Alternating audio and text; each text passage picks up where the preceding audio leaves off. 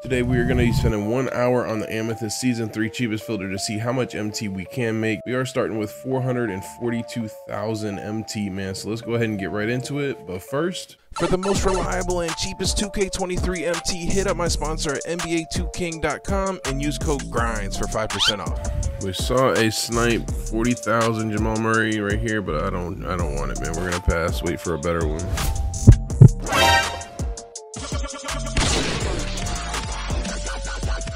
So we just got this Miles Turner snipe for 40k. Let's go, man. We are 35 minutes into the challenge. We also just got a Jamal Murray for 35, but my recording's been all kinds of wonky.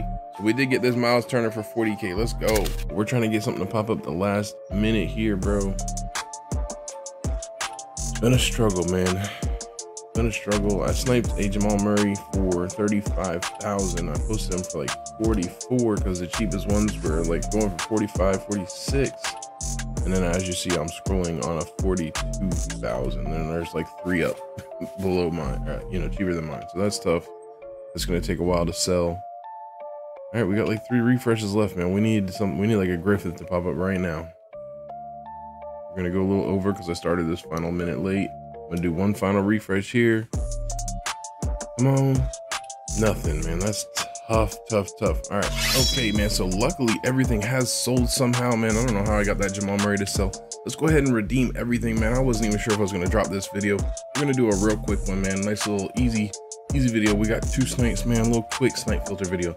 We did get Jamal Murray for about 35,000. We started the challenge with 442,000 MT, man. So let's see what we get to, how much we made. I'm thinking we made like 15K. Let's see, man.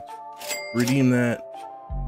Brings us up to 407, man. Now we got to redeem Miles Turner. We sniped this for 40,000. Obviously the best snipe, man, we got. So we're going to go ahead and redeem this 54,000. We sold it for, which brings us to 455,000, which made we made 13,000, almost 14,000 MT, man. I'll take it. Not bad for an hour.